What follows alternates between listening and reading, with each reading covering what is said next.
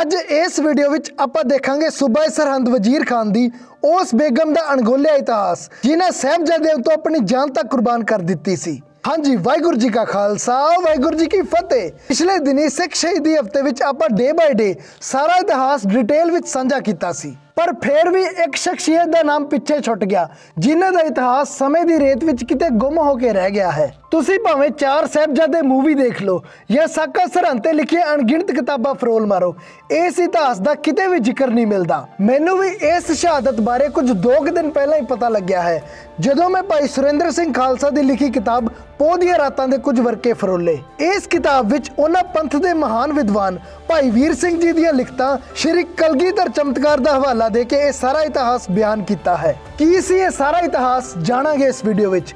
ਪਰ ਵੀਡੀਓ ਸ਼ੁਰੂ ਕਰਨ ਤੋਂ ਪਹਿਲਾਂ ਜੇ ਤੁਸੀਂ ਇਸ ਚੈਨਲ ਤੇ ਨਵੇਂ ਆਏ ਹੋ ਜਾਂ ਇਹ ਵੀਡੀਓ ਤੁਹਾਨੂੰ ਕਿਸੇ ਨੇ WhatsApp ਤੇ ਸ਼ੇਅਰ ਕੀਤਾ ਹੈ। ਤਾਂ YouTube ਤੇ ਆ ਕੇ ਸਕਸੈਸ ਦਾਰਾ ਚੈਨਲ ਨੂੰ ਸਬਸਕ੍ਰਾਈਬ ਕਰਕੇ ਬੈਲ ਆਈਕਨ ਪ੍ਰੈਸ ਕਰ ਦਿਓ ਬਾਬਾ ਬੰਦਾ ਸਿੰਘ ਜੀ ਬਹਾਦਰ ਸਰਦਾਰ ਹਰੀ ਸਿੰਘ ਜੀ ਨਲੂਆ ਭਾਈ ਸੁੱਖਾ ਸਿੰਘ ਮਹਿਤਾਬ ਸਿੰਘ ਜੀ ਸਿੱਖਾਂ ਦੀ ਦਿੱਲੀ ਫਤਿਹ ਜਾਂ ਫਿਰ ਭਾਈ ਬਚਿੱਤਰ ਸਿੰਘ ਜੀ ਇਤਿਹਾਸ ਤੇ ਜਿਹੜੇ ਵਿਸ਼ੇ ਬਾਰੇ ਵੀ ਤੁਸੀਂ ਸੋਚਦੇ ਹੋ ਕਿ ਤੁਹਾਨੂੰ ਸਭ ਕੁਝ ਪਤਾ ਹੈ ਪਹਿਲਾ ਵੀਡੀਓ ਉਸੇ ਟੌਪਿਕ ਦਾ ਹੀ ਦੇਖਿਓ ਤੁਹਾਨੂੰ 100 ਨਵੀਆਂ ਗੱਲਾਂ ਪਤਾ ਲੱਗਣਗੀਆਂ। ਇਹ ਇਤਿਹਾਸ ਗੁਰੂ ਸਾਹਿਬਾਨ ਦੇ ਛੋਟੇ ਫਰਜ਼ੰਦਾਂ ਦੀ ਦਰਦਨਾਕ ਸ਼ਹਾਦਤ ਦੇ ਮੁੱਖ ਖਲਨਾਇਕ ਸੂਬਾ ਸਰਹੰਦ ਵਜ਼ੀਰ ਖਾਨ ਦੀ ਬੇਗਮ ਜੈਨ ਬੁਨੀਮਾ ਉਰਫ ਬੇਗਮ ਜੈਨਾ ਦੀ ਹੈ। ਬਾਈ ਦੇ ਬਿਲਾਸਪੁਰ ਖੇਤਰ ਦੀ ਜੰਮਪਲ ਬੇਗਮ ਜੈਨਾ ਦਾ ਜਨਮ ਇੱਕ ਹਿੰਦੂ ਰਾਜਪੂਤ ਪਰਿਵਾਰ ਵਿੱਚ ਹੋਇਆ ਸੀ। ਤੇ ਉਹਨਾਂ ਦੇ ਬਚਪਨ ਦਾ ਨਾਮ ਭਾਗੋ ਰਾਣੀ ਸੀ। ਉਸ ਦਾ ਮਨ ਗੁਰੂ ਘਰ ਨਾਲ ਉਦੋਂ ਜੁੜਿਆ ਜਦੋਂ ਉਹ ਵਿਆਹ ਤੋਂ ਕੁਝ ਸਾਲ ਪਹਿਲਾਂ ਆਪਣੀ ਮਾਂ ਨਾਲ ਇੱਕ ਅੰਮ੍ਰਿਤਧਾਰੀ ਬੀਬੀ ਨੂੰ ਮਿਲਣ ਸ੍ਰੀ ਅਨੰਦਪੁਰ ਸਾਹਿਬ ਗਈ ਸੀ। ਇਹ ਅੰਮ੍ਰਿਤਧਾਰੀ ਬੀਬੀ, ਉਹਨਾਂ ਦੀ ਪੁਰਾਣੀ ਗਵੰਡਣ ਸੀ, ਜੋ ਸਾਰਾ ਪਰਿਵਾਰ ਅੰਮ੍ਰਿਤਪਾਨ ਕਰਕੇ ਖਾਲਸਾ ਸੱਜ ਗਿਆ ਸੀ।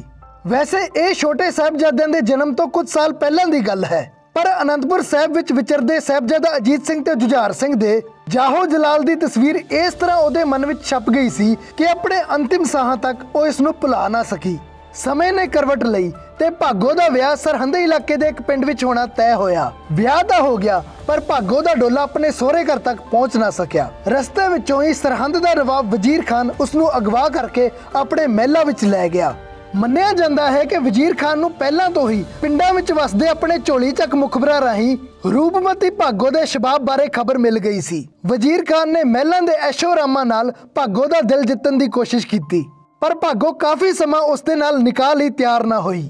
ਪਰ ਜਦੋਂ ਕਿਸੇ ਪਾਸਿਓਂ ਵੀ ਕੋਈ ਰਾਹ ਨਾ ਵਿਖਿਆ, ਤਾਂ ਬਾਦਸ਼ਾਹੀ ਧੌਂਸ ਦੇ ਸਾਹਮਣੇ ਔਰਤ ਜਾਤ ਦੀ ਮਜਬੂਰੀ ਨੇ ਹਥਿਆਰ ਸੁੱਟ ਦਿੱਤੇ।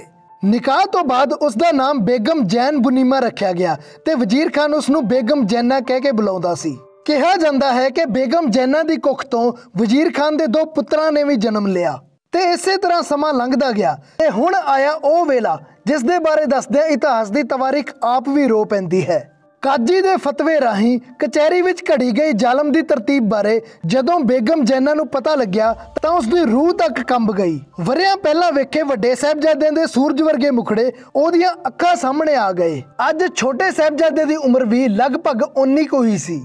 ਉਹ ਵਜ਼ੀਰ ਖਾਨ ਕੋਲ ਜਾ ਕੇ ਕੁਰਲਾਈ। ਦੁਹਾਈਆਂ ਦੇ ਦੇ ਕੇ ਉਸਨੇ ਵਜ਼ੀਰ ਖਾਨ ਨੂੰ ਰੋਕਣ ਦੀਆਂ ਬੇਅੰਤ ਕੋਸ਼ਿਸ਼ਾਂ ਕੀਤੀਆਂ। ਪਰ ਹੰਕਾਰ ਵਿੱਚ ਅੰਨਾ ਹੋਇਆ ਹਾਕਮ ਆਪਣੀ ਕਬਰ ਆਪਣੇ ਹੱਥੀ ਪੁੱਟਦਾ ਰਿਹਾ। ਛੋਟੀਆਂ ਮਾਸੂਮ ਜਿੰਦਾਂ ਨੀਹਾਂ ਵਿੱਚ ਖਾਮੋਸ਼ ਹੋ ਗਈਆਂ। ਜਦੋਂ ਇਹ ਖਬਰ ਜੈਨਾ ਦੇ ਕੰਨਾਂ ਵਿੱਚ ਪਈ, ਤਾਂ ਉਹ ਤਾਹਾਂ ਮਾਰ-ਮਾਰ ਕੇ ਰੋਈ। ਫੁੱਲਾਂ ਵਰਗੀਆਂ ਜਿੰਦਾਂ ਤੇ ਹੋਇਆ ਇਹ ਜ਼ੁਲਮ ਉਸ ਤੋਂ ਬਰਦਾਸ਼ਤ ਨਾ ਹੋਇਆ। ਇੱਕ ਤੇਜ਼ ਧਾਰੀ ਸ਼ਮਸ਼ੀਰ ਆਪਣੇ ਕਲੇਜੇ ਚੋਂ ਪਾਰ ਲੰਘਾ, ਉਸਨੇ ਆਪਣੇ ਜੀਵਨ ਦਾ ਅੰਤ ਕਰ ਲਿਆ ਤੇ ਆਪਣੀ ਲੋਥ ਸੂਬੇ ਦੇ ਮਹਿਲਾਂ ਵਿੱਚ ਛੱਡ ਸਾਹਿਬਜ਼ਾਦਿਆਂ ਦੇ ਮਗਰੋਂ ਮਗਰੀ ਹੋ ਤੁਰੀ।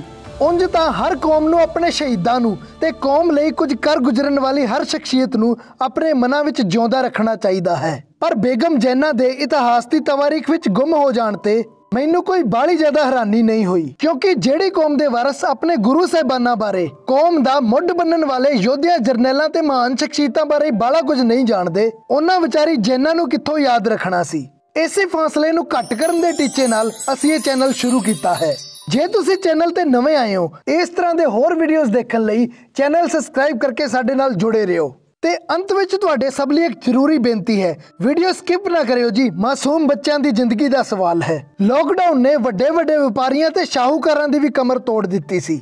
ਉਂਝ ਤਾਂ ਹੁਣ ਤੱਕ ਲਗਭਗ ਆਪਾਂ ਸਾਰੇ ਇਸ ਝਟਕੇ ਤੋਂ ਉੱਭਰ ਚੁੱਕੇ ਹਾਂ। ਪਰ ਲੋਕਡਾਊਨ ਦੌਰਾਨ ਵਰਕ ਫਰਮ ਹੋਮ ਕਲਚਰ ਵਧਨ ਕਰਕੇ ਜਿਹੜੇ ਲੋਕ ਬੇਰੋਜ਼ਗਾਰ ਹੋਏ, ਉਹ ਅੱਜ ਵੀ ਧੱਕੇ ਖਾਣ ਤੇ ਮਜਬੂਰ ਹਨ। ਇਹੋ ਜਿਹਾ ਹੀ ਇੱਕ ਗੁਰਸਿੱਖ ਪਰਿਵਾਰ ਸਾਡੇ ਗਵਾਂਢ ਵਿੱਚ ਹੈ। ਪਿਤਾ ਨੂੰ ਕੋਈ ਬਜਵਾ ਕੰਮ ਨਾ ਮਿਲਣ ਕਰਕੇ ਛੋਟੇ-ਛੋਟੇ ਬੱਚਿਆਂ ਦੀ ਸਕੂਲ ਦੀ ਫੀਸ ਵੀ ਨਹੀਂ ਭਰੀ ਜਾ ਰਹੀ। ਪਰ ਅੰਮ੍ਰਿਤ ਦੀ ਦਾਤ ਹਰ ਸਮੱਸਿਆ ਨਾਲ ਜੂਝਣ ਦੀ ਸਿੱਖਿਆ ਦਿੰਦੀ ਹੈ।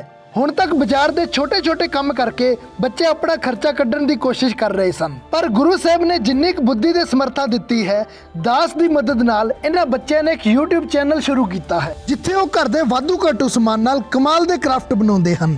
ਜੋ ਸਕੂਲੀ ਬੱਚਿਆਂ ਦੇ ਬਹੁਤ ਕੰਮ ਆਉਣ ਵਾਲੇ ਹਨ। ਚੈਨਲ ਦਾ ਨਾਮ ਹੈ ਸਟੂਪਿਡ ਕਰਾਫਟ ਹਾਂਜੀ ਥੋੜਾ ਹਟਕੇ ਹੈ, ਪਰ ਇਸੇ ਲਈ ਤਾਂ ਕਿ ਤੁਹਾਨੂੰ ਯਾਦ ਰਵੇ।